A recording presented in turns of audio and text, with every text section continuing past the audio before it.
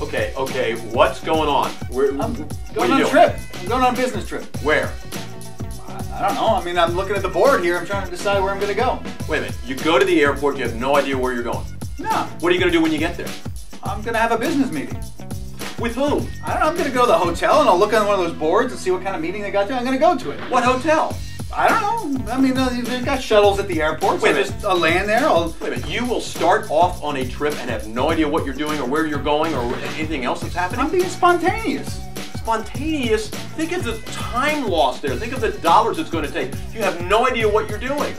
Would you go online and do the exact same thing and start a whole plan of doing things? I mean, without a plan? I guess not. I mean, you know. No, you should know what you're doing. If you're going to go online and you're going to do things, let's start with a plan first. Don't just go helter skelter. You know, we had that all through our book, where there's a whole plan here for the universe model of social media marketing. Sure. Yeah, yeah. So we want to know what that flow of the energy is. Don't just start off without knowing what you're doing.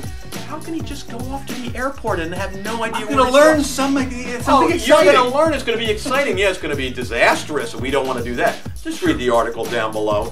Figure out what you need to do first, and then go do it. Seriously. I guess it makes sense. Yeah, I was just gonna, you know, look at all these places, all these destinations. I mean, they're all canceled right now, but I mean, you know, something's gonna open up. Oh my God. Read, read the article.